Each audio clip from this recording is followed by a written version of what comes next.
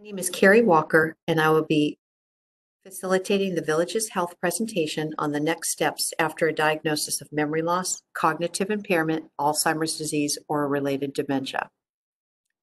Please keep in mind that this presentation is designed for educational purposes only and is not intended to take the place or substitute for advice from a healthcare professional.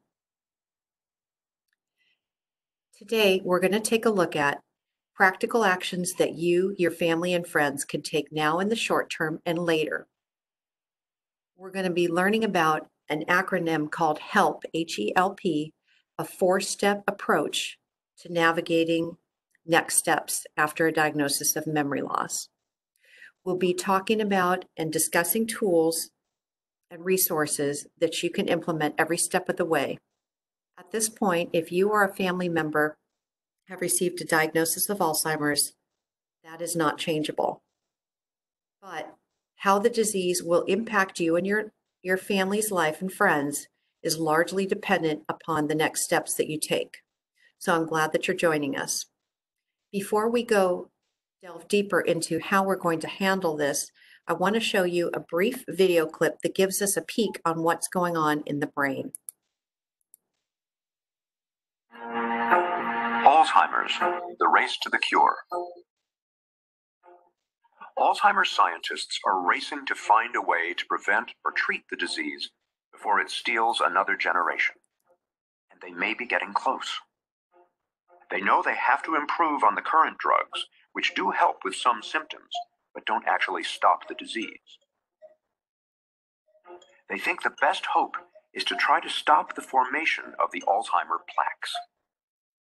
These plaques are composed of sticky protein fragments called beta amyloid, formed by accident when a natural brain protein called APP somehow doesn't dissolve in quite the right way. Think of APP proteins as glass bottles that need to be recycled after each use. But something goes terribly wrong. Just before they get melted down, the bottles are broken into sharp, sticky pieces, beta amyloid fragments, which then form into plaques. Many scientists think that if they can interrupt that process or clear away the beta amyloid, Alzheimer's disease will become a thing of the past. There are several possible ways to achieve this, and already a number of drugs are being tested for safety and effectiveness. They're also testing other common drugs to see if they might help with Alzheimer's. The problem is that all of these drug trials are extremely time consuming and expensive. Because Alzheimer's develops so slowly, it takes a long time to see if a new drug is doing any good. You may be able to help. For information on how to get involved in drug trials, go to www.aboutalz.org or call 1 800 438 4380. Thank you. Think that video does a good job of explaining that what's happening in a loved one's brain that has a diagnosis of Alzheimer's or dementia is a physiological problem. The disease spreads in a specific pattern from one part of the brain to the other. And as it spreads, those plaques spread from different parts of the brain, depending on where the plaques are and what the responsibility or function of that part of the brain is, is going to determine the outward signs and symptoms that you see. For example, disease first impacts the hippocampus. The hippocampus is the part of the brain responsible for short term memory. That it would explain why maybe perhaps one of the first symptoms that you've noticed in your loved one is a change in short term memory. They're not able to remember that you told them that their doctor's appointment is at 2 p.m. and they keep asking you, or they keep telling you the same story over and over. But this little video clip should really confirm that those types of changes in behavior are beyond their control and are related to changes that are happening in the brain. I'm going to walk you through a four-step model called HELP. H is, stands for handling the news. How did you receive the news? How are you processing that? How is the person with memory loss processing that? We'll move on to engaging. It's important to gauge, engage others as you navigate this course. Having support and help from others will allow you to help your loved one remain independent as long as possible. L is for learn.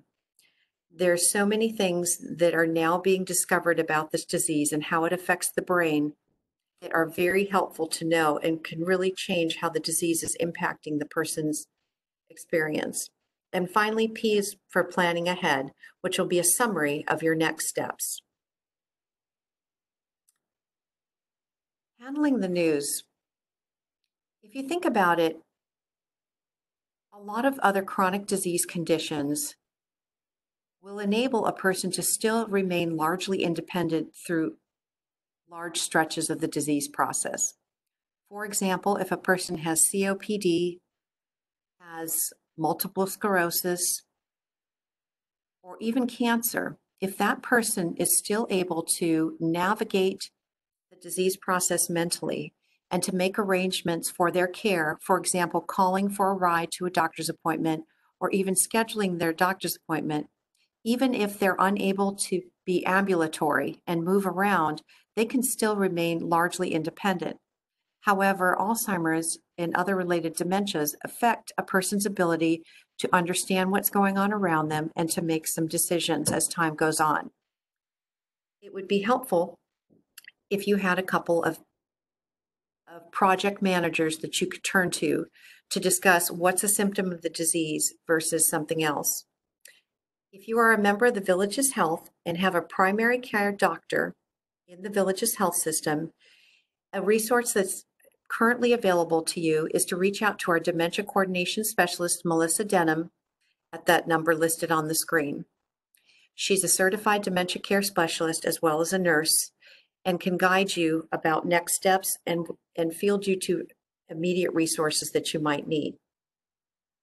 We are piloting an eight week dementia support program in which the person with dementia arrives to the care center with, the, with their care partner, and each of them attends a different group.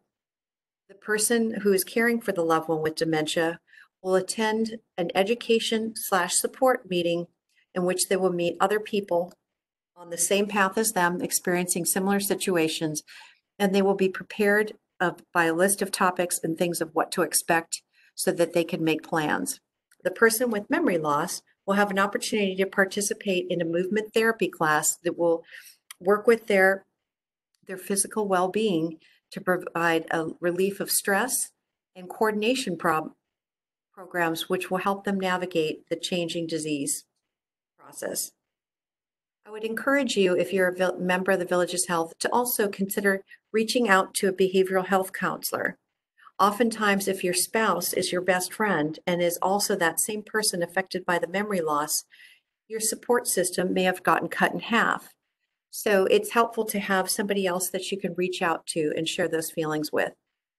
If you're not a member of the Villages Health, the Alzheimer's Family Organization is a local Alzheimer's organization available in this area.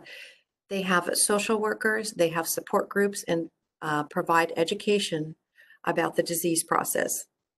The Alzheimer's Association is a nationwide organization and has a massive website that will give you access to online learning, a list of support groups in the area, as well as has a 24 hour free hotline that you can call at any time to, to talk about things and develop strategies. When it came to handling the news, of the diagnosis of your loved one or yourself, how did you process that information? How did you feel when you first learned the diagnosis? Some people actually have been so overwhelmed that they really can't take in any uh, additional information. It's not unusual to leave the doctor's office and then think about a million questions you wished you'd asked later. Some questions that I want to make sure that you have answered as you move to the next step is how did the physician diagnose the, the disease? Alzheimer's is and dementias are diagnosed by a series of exclusionary tests. The brain is very complex and there's a lot of different conditions that can be contributed to memory loss and confusion. And we want to start at the top with your primary care doctor and make sure that each of the other possibilities outside of Alzheimer's was eliminated. and that you feel comfortable with that diagnosis. Another helpful question to ask is where does that doctor feel that you or your loved one is in the disease process? By having an idea of early, mid, or later, it'll help you navigate what you have to do now and prioritize what's most important. Lastly, consider asking the, the physician, will you be the one still in charge of managing the care? Whether it was a neurologist or a primary care doctor, make sure that you know who's the you're going to be your project manager to be suggesting upcoming appointments.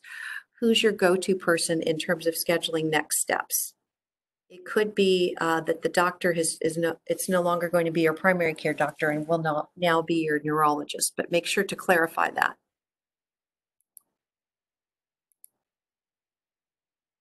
The other part of handling the news, unfortunately, is considering stigma. I don't think anybody would disagree that if we suspected we might have signs of cancer, that we would be contacting a doctor immediately and coming in for a diagnosis to determine whether or not that was the case. When it comes to memory loss, a lot of us are still not comfortable with coming making that a public declaration. Oftentimes there's stigma, things are misunderstood about what's happening if the person has a choice in the changes in behavior. I would encourage you to think otherwise, though.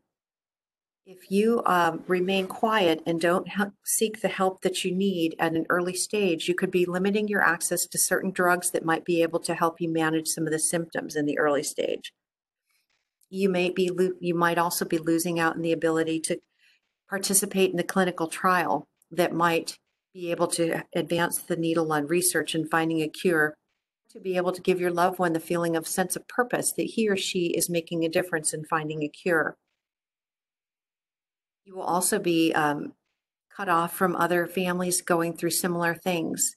It's very helpful to know that what you're experiencing is, nor- is normal. And as we'll talk about later, by having partners or new friends that completely understand your diagnosis because they themselves have someone with a diagnosis, you can um, partner with them to continue to go out in the community and things that you've always liked to do or that your loved one still wants to do to be independent without having to uh, worry about the person wandering off or not being able to or navigate. This next slide is a text message representation of an interaction that is all too common. How often do we take friends and family up on their offers to help? In the text message, someone says, I'm really going through a tough time. And the response is, I'm sorry to hear about that. Let me know if there's anything I can do. Those let me know if there's anything I can do responses are well intended, but rarely followed up on. If we don't think about things ahead of time and come up with a list of things that people can actually help with, with chances are good when we are feeling stuck and we're in a crisis, we're not going to know who to reach out to, or we're going to need a lot more help than we had intended. So I'm going to suggest a, a tool that you might not have help, thought of before. It's called a care calendar. Take the time when you receive a diagnosis to make a list of all the things that you might need help with. This could include general items of care, such as taking somebody to a doctor's appointment. But I want you to also consider what did the person what was the person responsible for that has memory loss? What tasks in the household were they responsible for? For example, if my husband received a diagnosis of Alzheimer's disease, I know that he has been the primary bill payer in our family.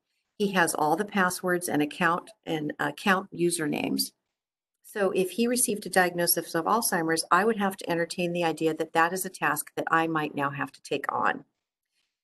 And there's probably a lot of those tasks that I might have to take on. For example, he also does our lawn care. He is in charge of maintaining our automobiles. So if he per- is able to do less of that as time moves forward, I need to have a plan in place to determine if it's not going to be me that's caring for those items, who is it going to be? So start making a list when you have time to think clearly. Include things that that person with memory loss likes to do. If it was, for example, um, if it was a wife and the wife really enjoyed her time take, getting a pedicure done. Um, she enjoyed going to this uh, one of the squares to listen to music. That was something she savored every day. Maybe she enjoyed going for a walk right at sunset.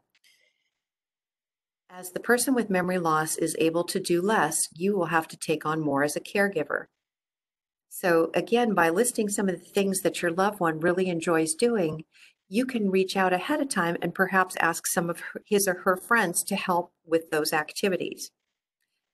By having a list, an objective list ahead of time, you can then list these events online in a care calendar and send them out to your friends. Oftentimes, a person is reluctant to reach out and offer for help because they really don't know how they can do that. Or perhaps you don't feel comfortable asking them at the last minute. But by using a neutral platform as an online caregiver, uh, care calendar, you will be able to get people to help sign up for a multitude of tasks. I will share the example of Roger and Lucy. Lucy received a diagnosis of early onset Alzheimer's, meaning that she was diagnosed with Alzheimer's disease before the age of 65. Roger was a con- her husband, a consummate businessman. He decided immediately to go into action with a business type approach. He uh, opened up an Excel spreadsheet and began listing all the things that he might need help with. He also um, elicited the help from friends and family that knew Lucy to contribute to the list of things that he might not think about, such as that pedicure. He came up with a, a comprehensive list with items from small to large, things like to help to take the dog out, um, any of the tasks that he himself had been responsible for that but might, might not be able to get to now that he was caring for more for Lucy. He had a list of two spreadsheets long. Some of the items, like I said, were small, but some of them, such as a off a casserole once a month for dinner, but some of them were more involved, such as coordinating care and taking um, and coming over to sit with, with Lucy if he needed to attend to business items. The other advantage of having a care calendar is you can plan ahead to schedule items on specific days of the week that always happen on that day of the week. It can get very hectic and chaotic when you're having to navigate um, unexpected doctor's appointments and needs for another person. So the more stability and regularity you can maintain on your calendar, the better. For example, Roger knew that their son would always come over on Thursday nights and sit with Lucy. Their son would make dinner and spend time with her. So he used that Thursday evening to go about and do errands that he needed to do or to simply take a walk or get away if he needed to. So, again, a great resource that will help you. There's all types of help and support that you might need. There's practical help, um, help with paying bills, help with getting information, also need help planning activities. If your loved one can no longer do the things that used to keep them occupied and that they enjoyed, it's important to be able to help walk them through new things that they might like. It's difficult to think of these things in the moment. So I encourage you to start getting on websites and finding out different web ways to vary favorite activities. For example, if someone used to love to horseback ride and they can no longer horseback ride, perhaps you could find a friend that could take them to the stables. They could just walk in the barn smelling the, the hay and watching the animals. If that was no longer a possibility, perhaps they could watch a movie about horses or see videos of their horses. And then uh, even entertaining thoughts about having a coffee table book that has horses again, if you can think about all these things ahead of time, you'll have things on hand as the person's getting agitated or frustrated that they couldn't, they can't do the the regular versions of the activities they like. You'll be uh, well prepared. Emotional support is something you might not have thought of. Usually, when we go into a caregiver mode, we start picking up balls that the other person's dropping and then just adding them to our plate. We keep juggling everything, um, not even giving a thought to emotional support. So it's good to build that in, at least as a checkpoint, um, to have someone to talk to on a regular basis. Whether it's a friend, a person that knows you both, or, or behavioral health counselor. Gathering information is another support that you can that you will need.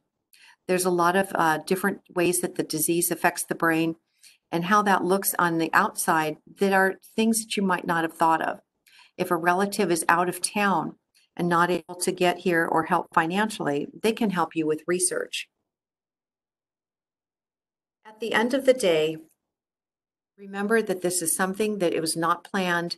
It's not necessarily fun by any stretch of the imagination. So it's probably not unlikely that you might get extra tired, you're not sleeping, you're anxious. It's not unusual that you might want to take a nap in the middle of the day. That's okay to do that. It's okay to ask for help. Similar to starting a new job, if you know nothing about that job, you're going to have to ask for help and get resources because it's something that you haven't faced before. There's you don't have a blueprint for this. Again, it's very natural to feel frustrated. You don't have all the answers and you haven't done this before. It's also okay to feel lonely sometimes. The relationship with your loved one might become compromised because they're not able to communicate in the same way that they were before, and you will be left feeling lonely. So it's okay to take a nap, ask for help, feel frustrated sometimes, and even feel lonely. I want to take a moment to suggest that you do an activity at home. This will help you engage people. I want you to take out a piece, piece of paper and write down all the top priorities in your life, everything that's important. I'd like the care partner the care person to do that as well as the person with memory loss. Each of you needs to have a list of top priorities that are important in your life that you want to keep there no matter what. It could include lists of things like spend time with grandkids, walk the dog, listen to music, um, Skype my grandbaby once a month, um, whatever it is, play golf. List them all because then the idea is we are going to take a look and see how we can retrofit those activities so that the person with memory loss can still continue to enjoy them to some extent as well as how can you enlist the, as a care person, enlist the help of others volunteering to help um, care or take your loved one to different events so that you can still maintain your top priorities. Obviously, your life is going to look different and you'll have to give up some things, but I think it's valuable to uh, first prioritize so that we focus on what is important and can make decisions accordingly. After you've listed those top priorities on one sheet of paper, I want you to flip the paper over and write down everybody that you can think of in your social network, everybody you know. It could include family, friends, um, people from your church, people from different social groups, from activities. List everybody down there. Even if someone is not a close friend, but is a member of, of the Mahjong club that in which you play every Thursday, if they live nearby, they might you might be able to reach out to them and, and ask if they could pick up your loved one on on their way to that game. They don't necessarily need to know them all that well. It's just something to consider. If you're like me, when you're looking at that list of um, social contacts, it may occur to you that as you've gotten older, that network has shrunk. That's completely normal. I want to recognize that as you and your loved one progress along the path of memory loss, it's possible that you might lose some friends. Some friends are not able to handle the changes and may not be comfortable um, being around you as the disease starts to impact a person's ability to communicate. Again, perfectly normal. But rest assured, you will continue to meet new people, especially connected with any Alzheimer's related programs that understand firsthand what it's like the story of two different families, husband and wives, that were completely different from each other. Under norm, normal circumstances, especially due to cultural differences, they probably never would have met each other. But because they were coming to support groups, they met and they developed a friendship. When one couple could no longer drive, the other couple would pick them up and take them to the support group. They would even drive across the entire county to pick them up. They were able to take trips and vacations together. Because if you think about it, if you have a loved one with memory loss in the early stages, you can remain independent, still going out to dinner and enjoying activities out in the public. But what happens if you need to use the restroom and you can't take your loved one with you.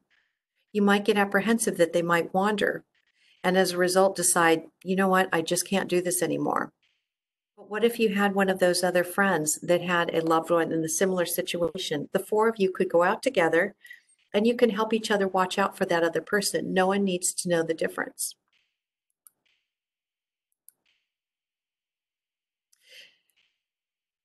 Engaging, um, meeting, if you are a member of the village's health system, you have the opportunity to participate into that eight-week dementia support group that I mentioned earlier. You'll meet other families with loved ones with memory loss. You'll learn coping strategies.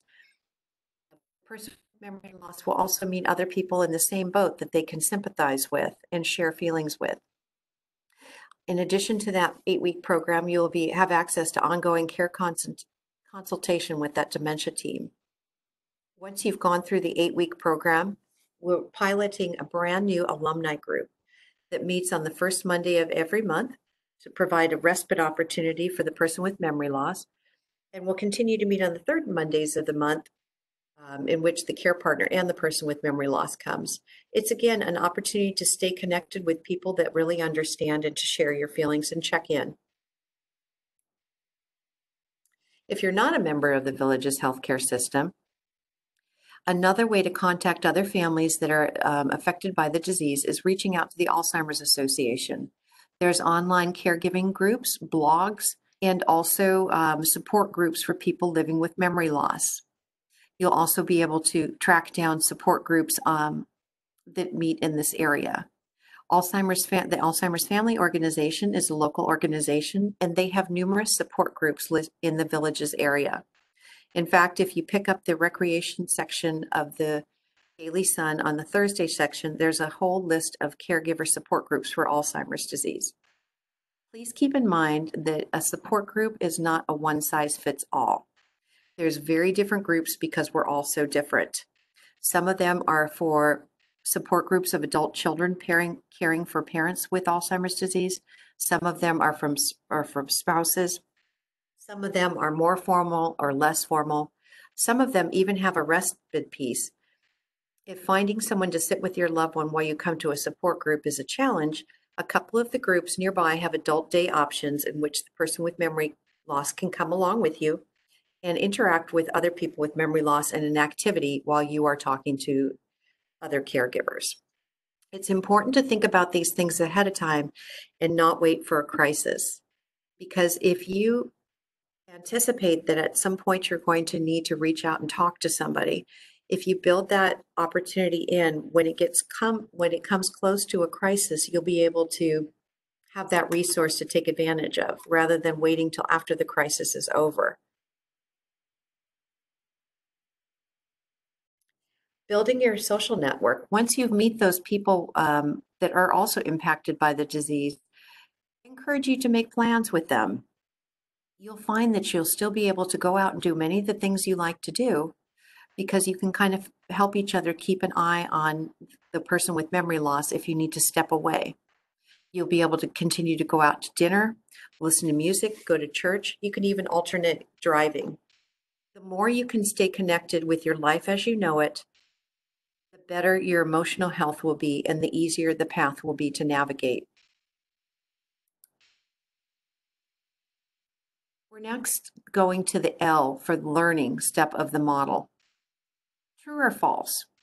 It's normal to be hesitant or resistant to learning how the disease will progress and impact your life.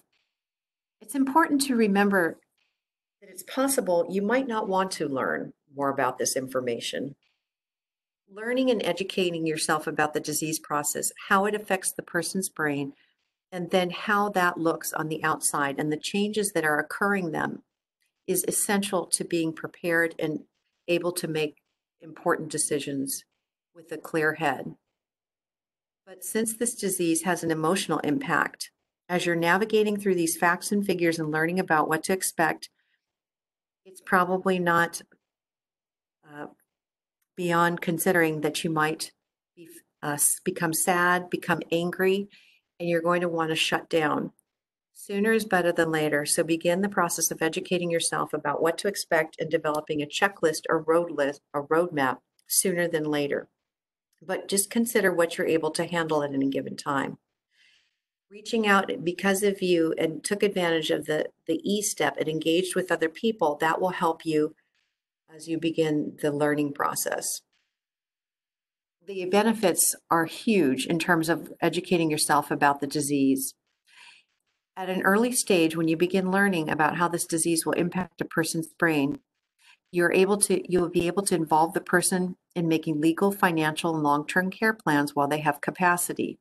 We all want to have a say-so in what our life looks like at the end. If you haven't already had these conversations, take advantage of the time you have now to find out what's important to that person. Some of their responses might surprise you. Take time to reevaluate your priorities. What are the things, given the, the diagnosis, that are, ha- are important now? Has it changed some of the priorities? Perhaps it isn't it isn't as important to repaint the house as it is to maybe spend time together and take a little vacation. Set goals to accomplish while you're still able to. Then involve the person in fun things and their bucket list that they might want to accomplish. Typically, Alzheimer's changes occur very slowly over a long period of time in a person's brain. So by starting early to have these conversations, it will it will help to make the path a lot more palatable. You can also discuss available treatments and medications with your doctor. Many of the drugs that are currently available to help with Alzheimer's symptoms only work in the early stages, and they can make quite a difference. But if you wait too long, you might lose that window of opportunity. Um, you'll be able to recognize, by educating yourself, you'll be able to recognize symptoms of the disease either before they happen or as they're happening, so you can put in systems to adapt to these change and develop coping strategies. One of the biggest impacts of this disease on an individual is their ability to communicate. We largely rely on words and language to communicate our thoughts and our needs and our wants. If we are unable to do that, oftentimes we'll, we will become frustrated our needs are not able to be met if we can't clearly communicate what's wrong or what we need. So, by preparing yourself for this ahead of time, you can help make sure the individual has the things that they need. I like to tell the story of what would happen if I developed Alzheimer's disease and my husband had to care for me at this early age.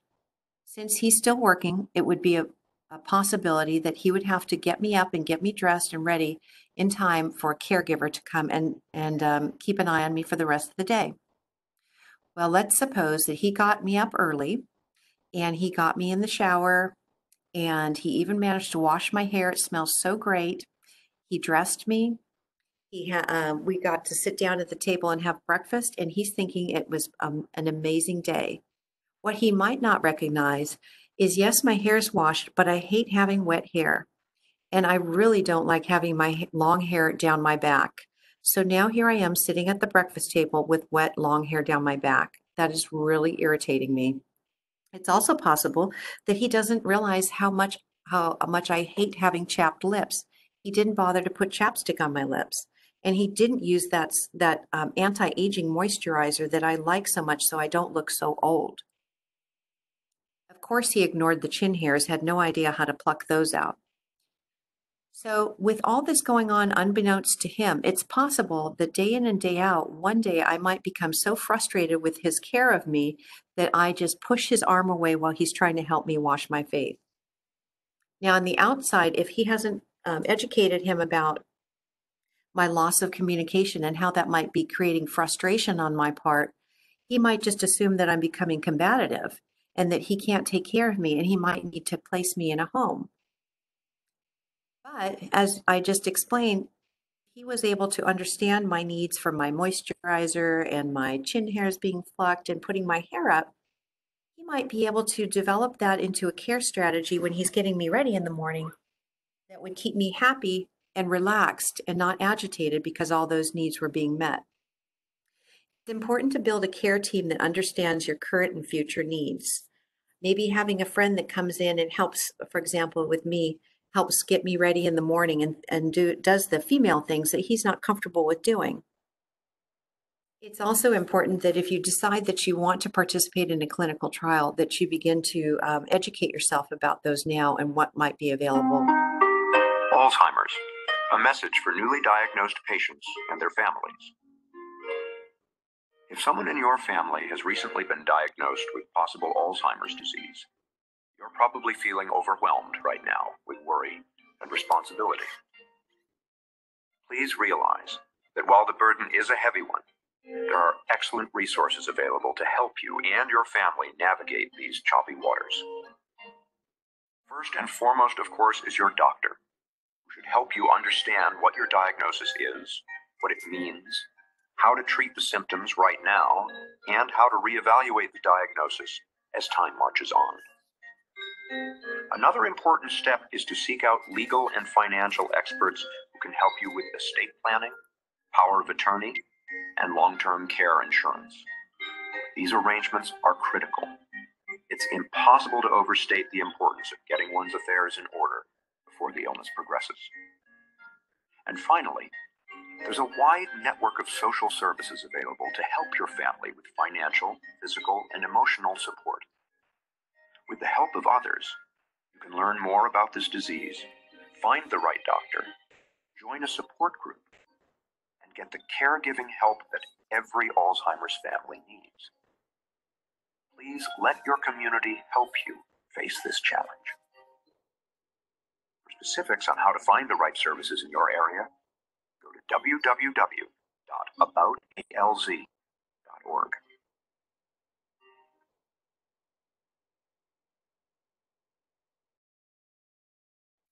That leads us to planning ahead. This list on the slide is a culmination of a lot of different things that you'll be needing to consider. Perhaps you've already addressed some of them just in your normal end of life planning for you and your spouse or your, or your um, loved one. If you haven't, it's it's critical that you uh, turn your attention to that. Unfortunately, a person might lose their ability to make safe decisions, and you'll need to make sure that you've already had some of these conversations. Contacting a dementia support specialist is helpful because they understand how the disease will impact the person's brain and will prompt you to prioritize certain items above others. In terms of uh, medical and financial powers of attorney, because a person's ability to communicate and to understand might be compromised, it's critical that you have those pieces in head pieces in place ahead of time so that if you need to step in and support the person and help them make these decisions, you already have all that paperwork in place. Um, attending legal to legal and financial matters if you haven't done so, including family members in those conversations could be helpful. Make sure that you re, um, you continue to treat the person as a person instead of the disease.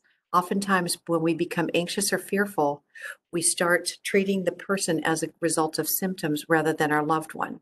Don't forget to talk to them about what matters most to them. It may be different than what's important to us.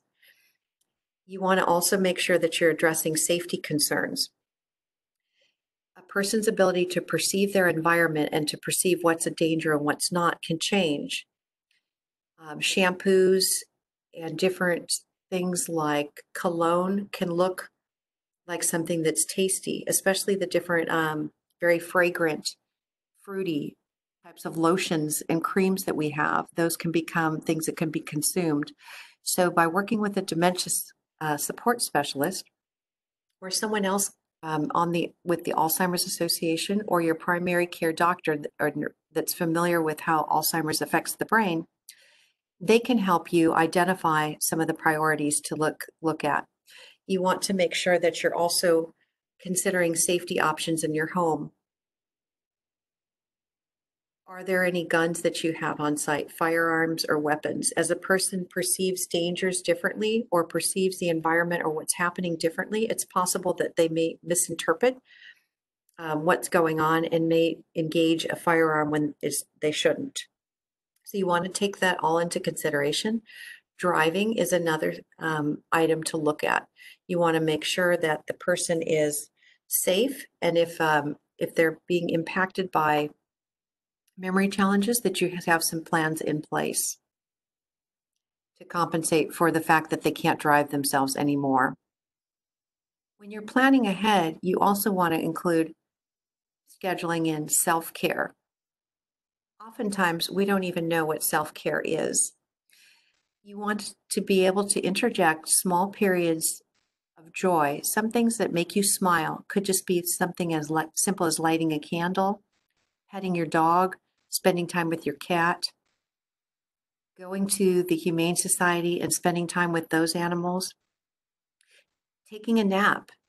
This can be overwhelming and you might not be sleeping if you're caring for your loved one in the in the evening because they're unable to sleep themselves. So make sure you you schedule time to take a nap. Perhaps that's a time when you've scheduled your um, son or daughter to come over and spend time with your loved one. While they're spending an hour with them, taking them out for a walk or or doing something that they enjoy, that can be your scheduled nap time. Relaxing in a bubble bath can be wonderful, as well as simply buying some flowers, something that will cheer you up. Challenge to you in order to practice healthy self care, I want you to write down a- a couple of small changes that can make a difference along the way. I want you to identify one or two goals that you're willing to work on in the next couple of weeks. Once you have a checklist, it will help you stay on track. There's a lot of different emotional components to this disease as you're processing how it's affecting your loved one. And the more you have some one specific area that you can go to, a list to keep you on track, the better. I would suggest obtaining a binder or creating a binder. You should have one place with all the information for your loved one that you go to. Things are going to get hectic. You might find yourself forgetting some things. Did I make that appointment? Did I write that down? Where did I write that down? Where's that phone number? And by having a binder that's organized with all the different information pertaining to your loved one will really work to help you. So, in conclusion, diagnosis of Alzheimer's disease, dementia, or other forms of memory loss is not an easy one by any stretch of the imagination, but by figuring out a healthy emotional way to make sure that you process the news, engage others to help you, learn about the disease so you can prepare for what to expect and what to anticipate, and understand what's happening from a person's perspective with Alzheimer's. And being able to plan ahead will largely change how the disease will impact your life and your loved ones because you are more prepared and have resources. I encourage you to reach out with any questions to the Villages Health Learning Center. We are happy to email out a copy of this presentation as well as other helpful tools such as a proposed checklist that you might find helpful.